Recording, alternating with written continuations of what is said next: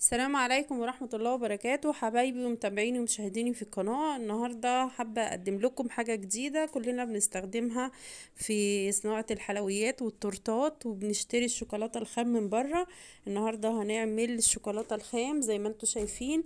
القلوب بتاعة الشوكولاتة جميلة وجامدة إزاي وحلوة. إحنا حطيناها في شكل كده جمالي بس لكن إحنا هنشوفها خطوة بخطوة إزاي هنعملها.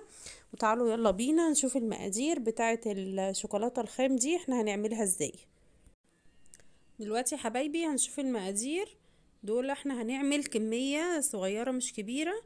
آه واللي عايز يضاعف الكمية براحته.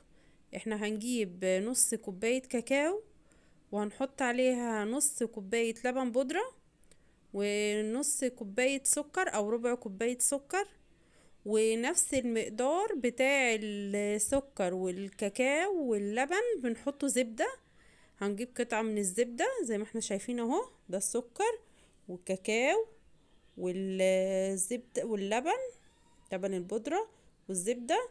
هبتدي هعملها بطريقتين. أول طريقة عشان نمشي الخطوات مع بعض هاخد الحاجات اللبن والسكر والكاكاو هعملهم في قلب المنخل علشان ما يبقاش عندي أي رواسب منهم ولا في سكر خشن أو كاكاو مش منخول حلو هبتدي إن أنا هنخل الحاجات المقادير دي بتاعتنا بحيث إن أنا لو في أي رواسب تبقى معايا مش هحطها في قلب الشوكولاتة.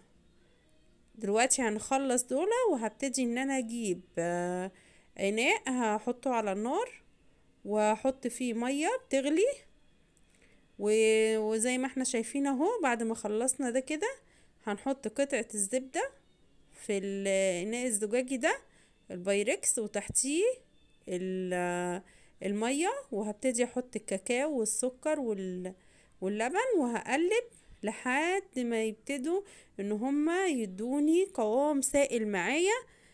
آه بعد ما هيديني القوام السائل هبتدي ان أنا اعمل إيه بقى؟ هصبه في قلب القوالب السيليكون واحطه في في التلاجة المجمد أو الفريزر لحد ما يجمد ويديني الشكل بتاع الشوكولاتة. دي دي أول طريقة آه ممكن تعملي بيها الشوكولاتة الخام. طب في عندي طريقة تانية برضو هنشوفها مع بعض. انت طبعا بتخلي بالك وانت بتقلبي لحد ما تحصلي على القوام المناسب. ولو في أي شوكولاتة وقعت منك على القالب السيليكون من بره كده هي كده كده هتجمد معاكي. ممكن انت تستخدميها في أي حاجة تانية تاخديها تسيحيها أو هتديها للأولاد ياكلوها. آه هي طبعا جميلة وطعمها جميل جدا. صدقيني لما تجربيها بالطريقة بتاعتي دي هتعجبك قوي. وهتعجب أولادك كمان. ليها طعم هايل وطعمها حلو. آه لأن إحنا حاطين كمية السكر حلوة فهي مدية الحلاوة بتاعه الشوكولاتة عادي اللي هي من بره. ولو ده الكاكاو دوت غامق لو انت عايز تعملي كاكاو فاتح آه عشان يديكي درجة درجة لون أفتح آه دي حرية زي ما انت عايزة.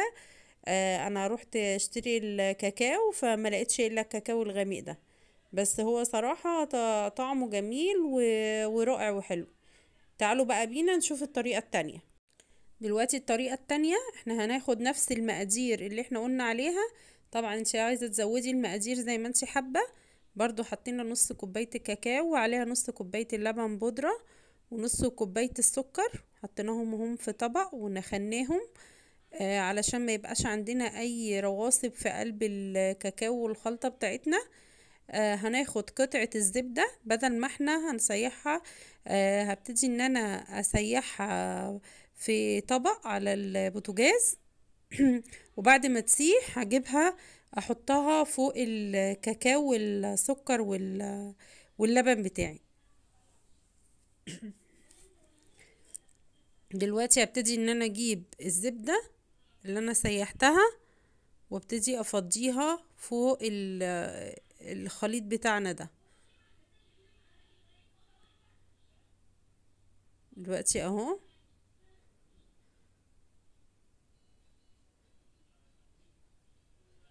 هبتدي إن أنا أقلب. لحد برضو ما تحصلي على القوام برضو اللي هو السائل. أول ما هتلاقي القوام سائل معاكي خلاص كده بتبقى الشوكولاتة ممكن ممكن بعد ما انت. قلبتي كده عشان طبعا دي مش معمولة على على البخار أو حاجة هاتي الخلاط بتاعك حطي فيه السوائل اللي إحنا قلنا عليها اللي هي الزبدة والكاكاو والسكر واللبن البودرة وهبتدي إن أنا هضربهم في قلب الكبة مع بعض لحد ما كلهم يبقوا خليط ممزوج مع بعضه. آه بعد ما هخلطهم هبتدي إن أنا إيه آه بعد ما يخلصوا هبتدي إن أنا أصبهم في قلب القوالب السيليكون وأحطهم برضو في الفريزر. وادي حبايبي الشوكولاتة بتاعتنا بعد ما خلاص ما جمدت هبتدي إن إحنا نخرجها مع بعض من القالب السيليكون. هحطها في الطبق عشان اوريها لكم.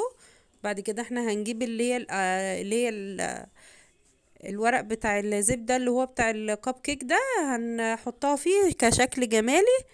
هنشوفها بس وإحنا بنخرجها علشان نتأكد ان هي الشوكولاتة جمد جمدت. اهي زي ما أنتوا شايفين اهي جامدة. زي الشوكولاتة الخام اللي انتي بتجيبيها من بره. طعمها جميل جدا. وطبعا الشوكولاتة بتاخد شكل القالب السيليكون اللي انت حطيتيها فيه. لو في شكل أو رسمه من تحت بتاخد نفس الشكل ونفس الرسمة وبتبقى جميلة وهايلة وهتعجب أولادك. ويا رب يكون الفيديو عجبكم وأتمنى إن أنتوا لو عجبك الفيديو اشتركي في القناة وما تنسينيش باللايك. وأنا بشكر كل اللي بيشجعني في تعليقاته وبشكر كل البنات على تعليقاتكم الجميلة اللي بتسعدني. والسلام عليكم ورحمة الله وبركاته. وأشوفكم في فيديو جديد.